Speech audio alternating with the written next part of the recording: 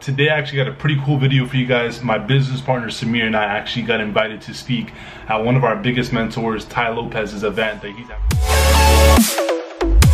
My buddy Jaden Gross is actually over there right now dropping some fire and they invited the boys to come over and also share some, you know, some other e-commerce strategies. So we're gonna go over there and drop some fire pun the head top. Okay, so we're here at Tai's place. I got my friend Kat here. The key is to have as many fish as possible. The high ceilings. Steven came through. The Aventador rolls. We need one of those. Couple of these for sure. It's a sick watch you got there, dude. A lot of gang gang. The boys are about to go out there and crush that.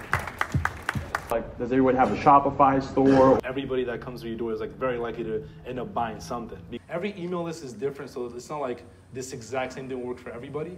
But you want to test it out to find out, you know, what what works best for your email list. Yo, you taking the bag, bro, or what? Dude, that's a sick one, That's what we're talking about. Secure the bag. See, secure the bag summit, secure the bag all 2018. We're gonna do what it do, and then we're off to the hills. So how can you be more effective as an entrepreneur while running an e-commerce and dropshipping business? For those of you guys that don't know me, my name is Juan Valdez, and if you haven't already, make sure you subscribe to the B Fam. I actually got a request from you know one of you guys and also one of my followers on social media that wanted to know somewhat of the routine and uh, schedule that I kind of had, or me and Samir kind of had when we were first getting started e-commerce and dropshipping. Because obviously, you guys know when it comes down to e-commerce and dropshipping, there's a, obviously a few different parts of the business. So sometimes it can get a little overwhelming deciding on like what to work on first thing in the day, what to work on later on, and a whole lot more. Pretty much a day, by- day by day, uh, I try to map out you know, somewhat of my day, you know, first thing in the morning, right? So I'll start looking at my emails. I won't answer them. I'll just open it to get an idea of what's going on there.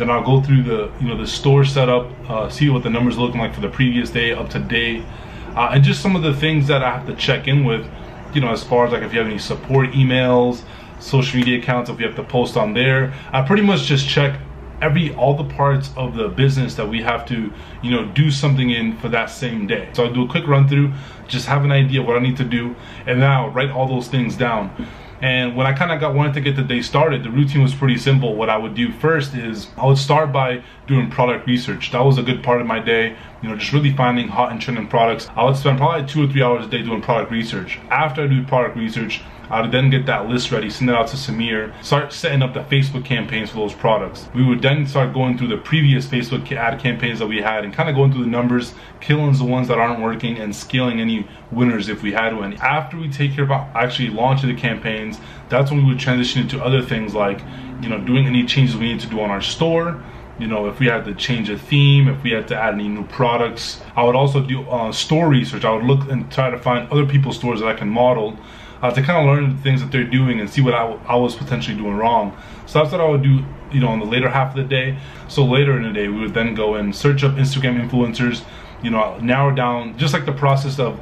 I posted a video just recently on the process that of how we find these influencers. It wasn't that good. That's like the finalized process, like up to date. That's pretty much the routine that I had. I forgot to mention the email marketing. So I started doing email marketing a little bit before we started doing Instagram influencers, and but it, at that time I wasn't getting any results with it because I didn't know what I was doing. But basically, I would I would spend the second half of the day preparing emails for the for that day, but also the following day. After a while, I ended up finding out that the ideal time for my specific email list was actually like around 6 to 7 p.m. I don't know why. I think that's just the time that you know people got out of work out of here on our time.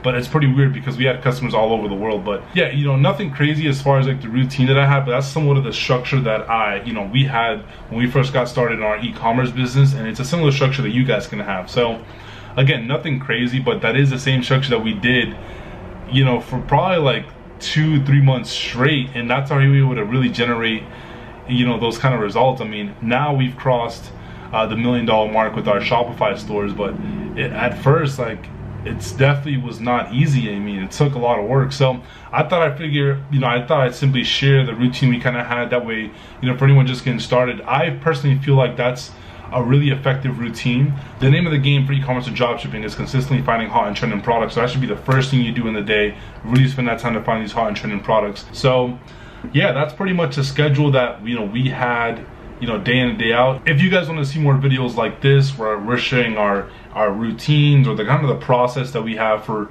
any specific part of our e-commerce and dropshipping business make sure you leave me a like also uh, leave me a comment. Let me know, you know, kind of the process that you guys have so far. And of course, if you haven't already, make sure you hit that subscribe button. But